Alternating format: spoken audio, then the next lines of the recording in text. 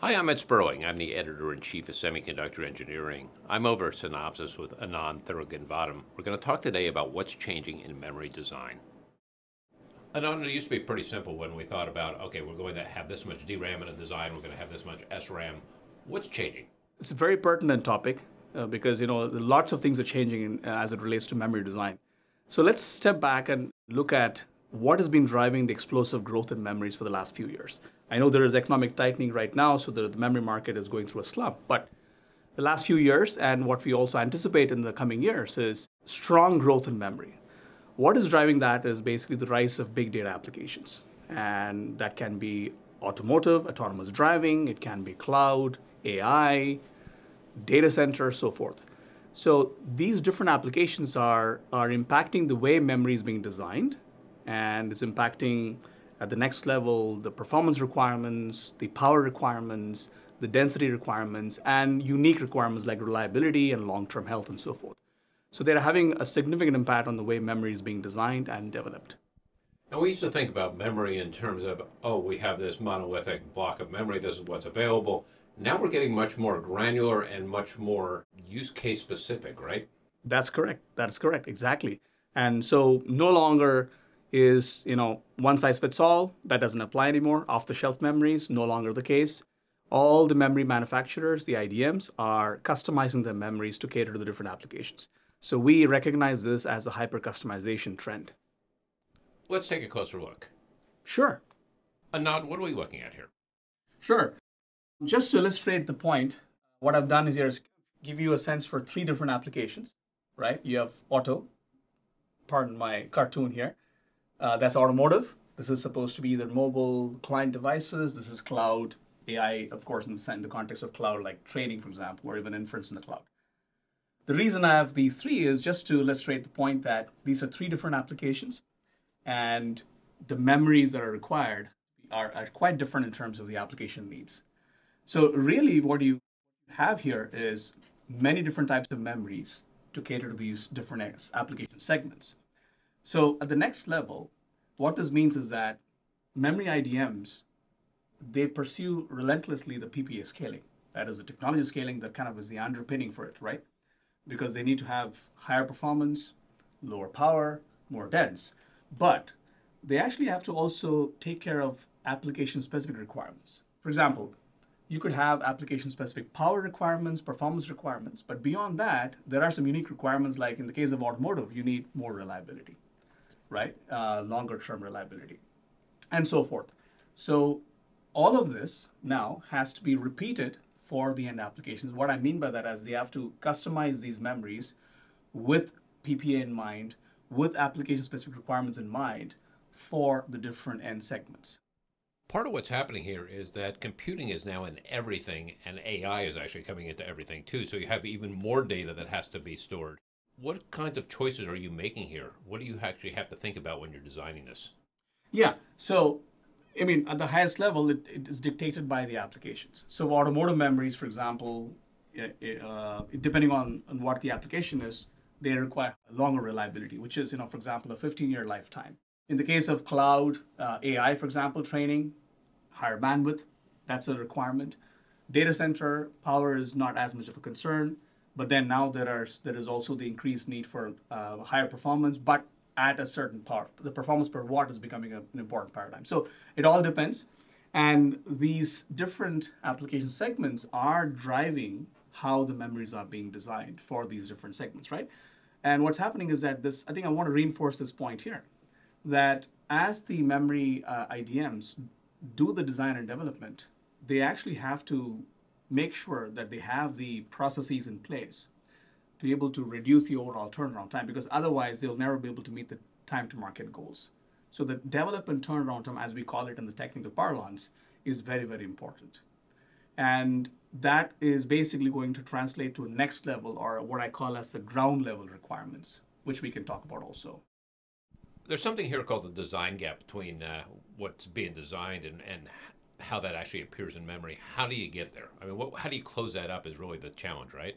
That's correct. That's correct. Exactly. So if you really look here, uh, what I've done is I've created this four quadrant view uh, just to illustrate the point. At the ground level, when it comes to memory design, um, these are the key requirements. So memory designers and technologists are looking to minimize the technology to design gap. And what that means is that for the bleeding edge memories, which are on very advanced technology nodes, right? These are actually called the FinFET class technology nodes. They are facing the same challenges. So uh, there's increased variation. The, they have to actually be able to come up with novel structures in order to cater to the requirements.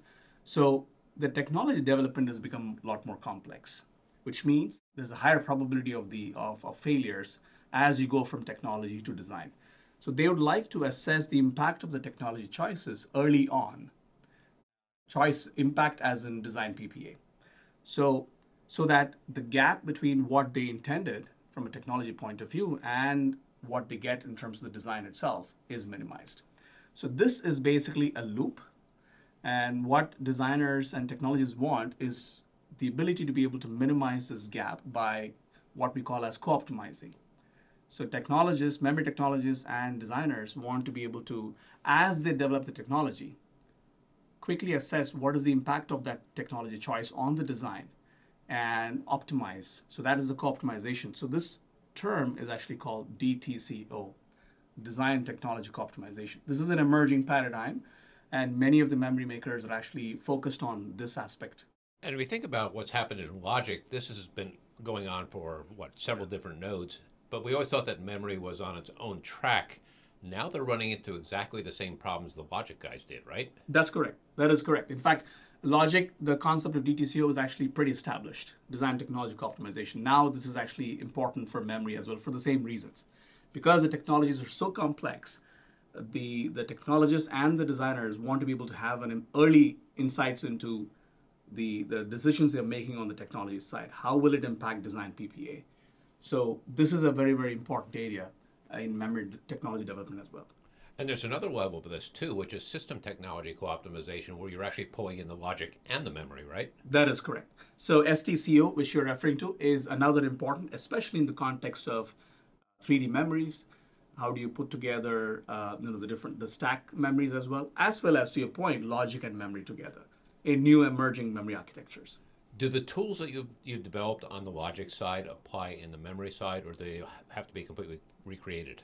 That's a very good point. Actually, you're, you're, that's a nice segue to this particular topic here.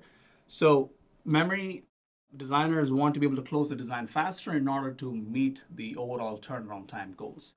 So what, uh, what is happening now is many of the memory designers are looking to leverage digital techniques, digital tools, digital methodologies and apply that to what is traditionally a custom design flow.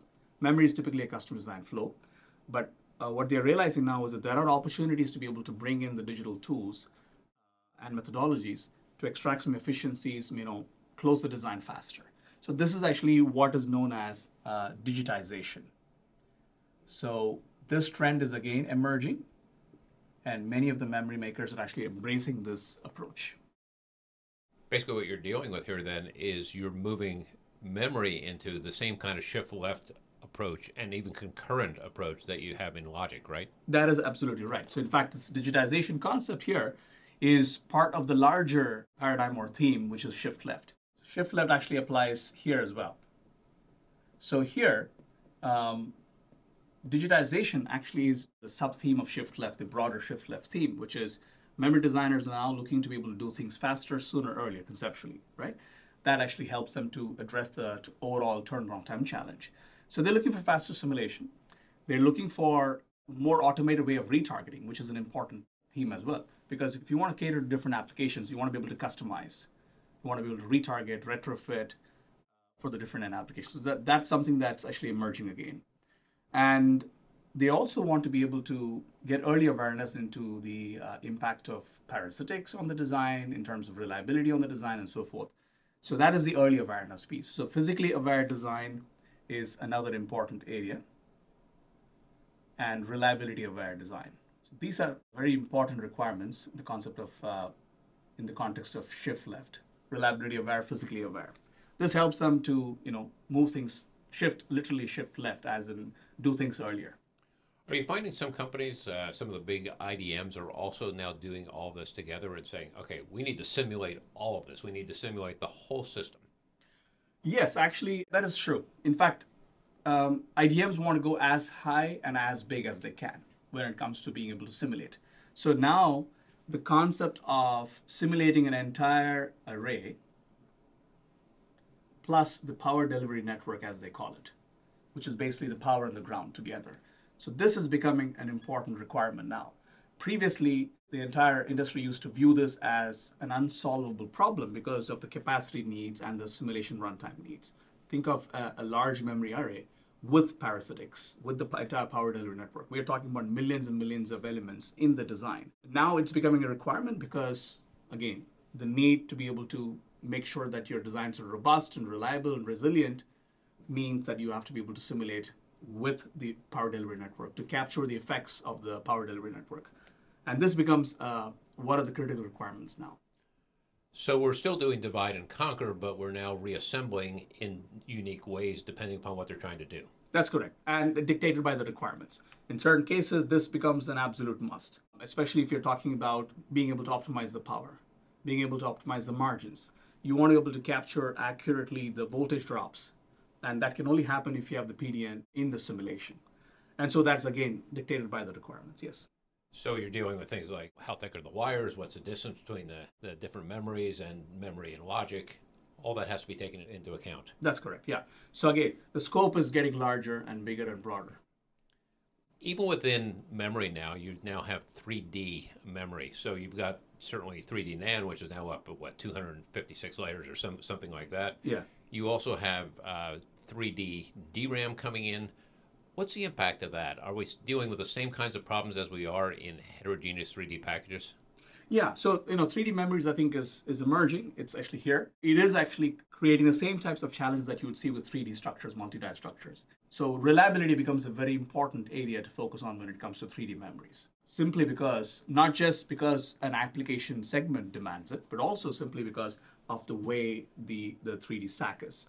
So now memory designers have to worry about or focus on reliability as in uh, the electrical stress, the thermal stress as they go through or traverse the 3D stack, and even the mechanical stress. So electromechanical, electrothermal, these are all new stress factors which are now playing a role. And memory designers have to worry about that and also make sure that the designs resilient enough to be able to deal with those stresses. And we're dealing with now mission critical and safety critical types of designs too. You think about a, a car, nobody ever really thought about memory in a car really in the past. You think about medical devices, same thing, and even data centers where they have to, they've been working with memory for a long time, but now it has to be much faster than what it was and you have a lot more data, right? That's correct. A lot faster and also more reliable, more resilient. And going back to your point, this I think is what we see as the design to silicon gap whatever you're in, you've intended in terms of design doesn't actually necessarily materialize in silicon. So these are what we call as defect escapes. How do you minimize the defect escapes? How do you minimize the gap between uh, design intent and actual silicon?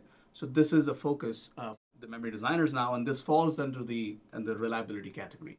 And here is where the thermal stress, you know, the thickness of the wires, the ability of the wires to carry current, that's one, one aspect of the failure. Others basically just gross manufacturing defects. Uh, another aspect is over the lifetime of the memories, because of the stresses, the device characteristics themselves change. How your design needs to be resilient enough to be able to deal with the, uh, the stresses during the lifetime of the product, the normal life, lifetime. And then for automotive, it's much longer lifetime, 3x, 4x, depending on the case. And so you need to be able to have long-term reliability. And what is also emerging is health. What that means is that uh, memory IDMs, memory design manufacturers now also need a way to be able to monitor the health of their devices in field. And they need mechanisms to be able to optimize and correct for performance in field. So this is where the, the full life cycle management aspect, as we call it, uh, becomes important even for memories. How much of what is being learned on the memory side is going now back into the logic side? Because you think about things like resilience, memory really led the world in that, right, with ECC memory. That's correct. How much of that, and, and now we're starting to see monitors coming in, so you have the telematics coming in to say what's going on inside the chip. That will now go into memory as, and they'll all be in, in a single system. How much of what you're learning in one is flowing across to the other? Is it only one direction or is it now two directions? No, it's cross pollination. So, because I mean, many, in many cases, if you look at the higher level, they coexist. Uh, memories do have a significant amount of logic. Uh, you have the controllers, for example, if get, if you talk about DRAM memories. But not just that, if you talk about an SOC, you have memories, you have all the logic and so forth. So the telematics and the, the monitoring aspect actually applies both to memories as well as the logic in the context of an SOC. If memory led the way in certain areas, that of course bleeds into the other side. And if logic led the way in certain areas, like DTCO, for example, it bleeds onto this side. So looking forward, what does memory actually look like five years from now? What changes? Um, there are different threads that these uh, leading memory vendors are pursuing. Um, one is, of course, 3D. Um, that's, I think, of course, going to be there for the next few years. The other thread that I've seen them pursue is moving the compute closer to the memory. So that's the reason why you know you have the in-memory compute, compute in memory, as some of them call it. So moving the compute closer, specialized compute functions moving closer to the memory. That's another trend. So you'll have different memory architectures emerge to support that. And then at the protocol level, of course, with CXL now starting to come into play, you will have a lot of applications built around um, you know CXL as well. So there's a lot of development going on just around moving that data, right?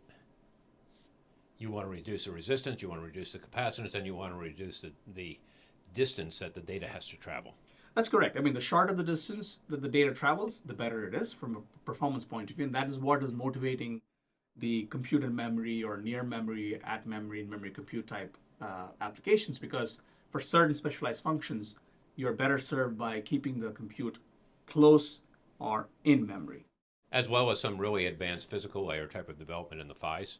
Absolutely, absolutely. So the, the physical layer is actually where the data transport actually happens. And therefore, as you see, for example, when we say PPA scaling, it's actually performance scaling. It's also refers to higher, faster data rates, for example. Right, faster data rates actually means you have more advanced PHYs that are able to support faster data transport. Anand Theruvengadam, thanks for a great explanation. Thanks for the opportunity, Ed. It was great talking to you.